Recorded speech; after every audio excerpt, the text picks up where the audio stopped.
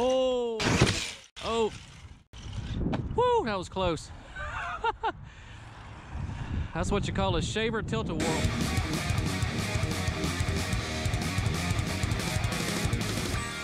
What's up, it's Eric. I'm out here with the Arrma Talion uh, XL, my custom Talion build. Uh, basically a 1 7 scale on a Mojave chassis. Uh, this is my second video with this, with this truck. Uh, I've been playing with it in the yard and stuff and just decided to go ahead and get this baby back out.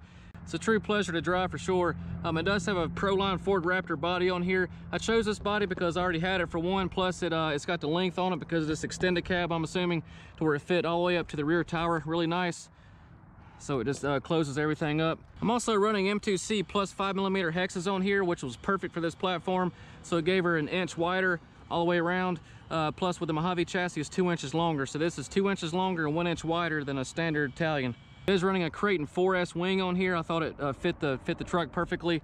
Um, and big shout out again to Kimberly Sanchez uh, for her uh, Basherqueen parts. It does have Basherqueen tires on the front and, and the rear right here. And also the uh, Ackerman bar right there, the steering uh, plate is the uh, Basherqueen carbon fiber. Um, it is running all M2C upgrades in here. Again, the M2C chassis and also the new M2C drive shafts in the center right here. Again, this is for the Mojave, and they are uh, fattened in the center, then they taper down. Uh, but if you're gonna run a build like this, whether it be on a Kraton platform or Talion, I would also recommend running a tower-to-tower -tower brace, simply because the chassis is so long, it will flex. The M2C drive shaft is definitely much stronger, it won't bend near as easy, but just for the extra insurance, uh, the tower-to-tower -tower brace uh, uh, works nice. I'm running a Power HD 23 kilogram uh, servo in here with a Hobbystar 2000 kV motor on a 19 tooth pinion, and also a Max 8 ESC. I wanted to keep the electronics light in this truck to keep her as light as possible. And this thing has loads of power with that system right there for sure. I'm gonna try the belted guitars on here first. I did bring a set of the regular guitars in case these get too bouncy. We'll just see how they do. As far as the diffs, it's running 50,000 in the front, 1 million in the center, and then uh, 30,000 in the rear. All right guys, here's a quick shot for comparison purposes uh, between the regular Italian, Italian Stallion, and then the uh, Monster XL. You can definitely tell she's longer and wider. So she's definitely the uh, monster Talion on the block.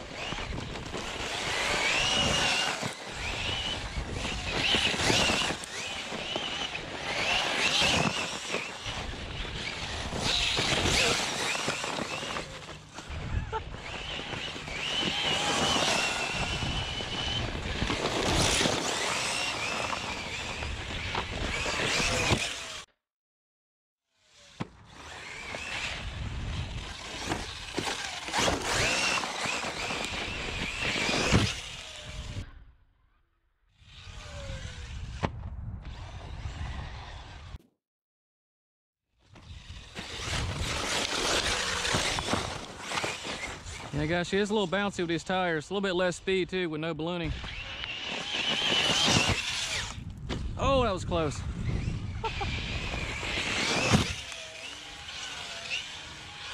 oh, that was close.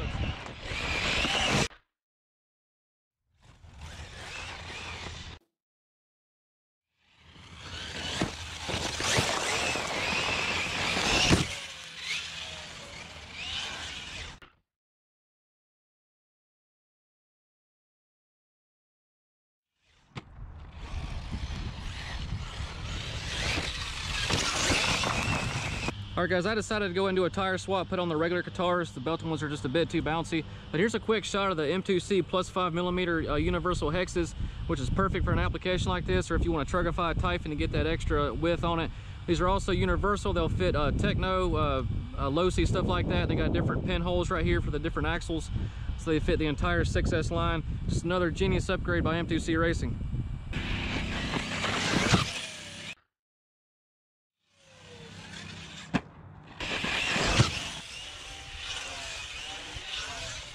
Oh, a little sideways there.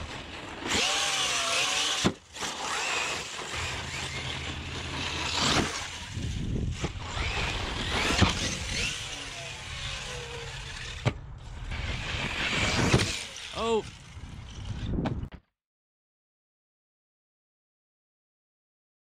Woo, that was close. That's what you call a shaver tilt-a-whirl. It's a new trick.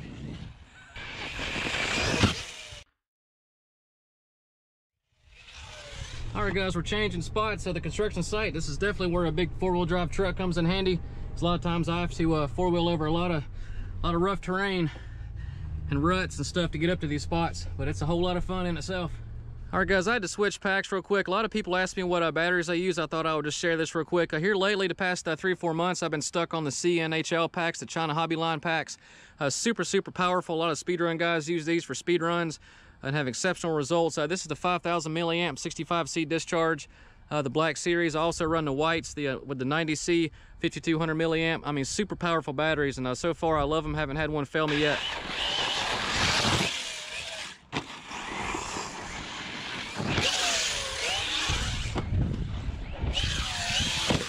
Oh,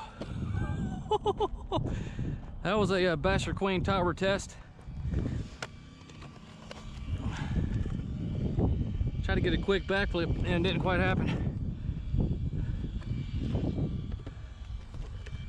They look good from what I can tell. Basherqueen tough. Woo, that was close.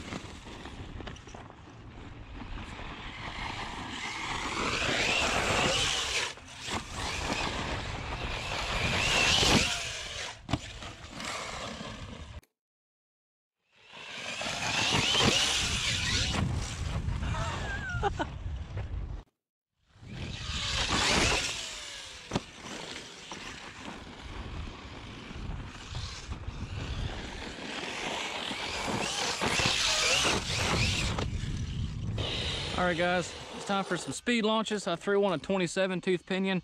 Um, I wouldn't recommend that bashing whatsoever. Uh, this is just for a, a, few speed launches. I did go back to the belted guitars for this. Uh, so far, these tires have held up to a 27 tooth pinion on high speed launches. So we'll see if they hold up again. That's the uh, beauty of these uh, tires right here. All right, guys, let's see what's up.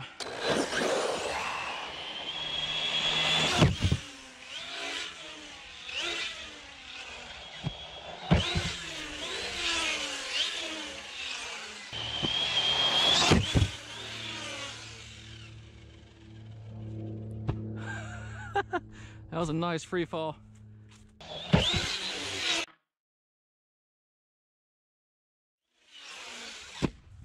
All right, guys, that's gonna be it for the uh, second big blast of a Big Bird here, the Talion 1/7 scale, uh, the Talion XL on a Mojave chassis. Uh, this, this truck is an absolute pleasure to drive. I mean, it's just uh, handles so well and flies so nice. Uh, there's no brakes on the truck. Uh, there's a little bit of clicking you guys may have heard in the construction site. I actually had a uh, front diff bearing blowout and also a drive cup snap. Uh, but other than that, nothing is broke on the truck. The chassis is still perfectly straight, the M2C chassis. And also these M2C uh, drive shafts up here, uh, despite even some of those harsh uh, sideways landings, these uh, drive shafts are still perfectly straight. That's a huge testament to M2C Tough right there. And I think that the M2C drive shafts are also helping save the arms because you're not getting that insane overflex because the uh, drive shaft will actually stop the overflex because it's not going to go anywhere. It's not going to bend. So that's a so that's a uh, win-win situation right there. Again, a big shout out to M2C Racing, Mitchell and Avery Looper for all the awesome upgrades. I'll put a link in the description if you guys want to check out uh, all the upgrades it took to build this truck. It was a whole lot of fun. We'll see you guys next time. RC Dude 81. Peace out.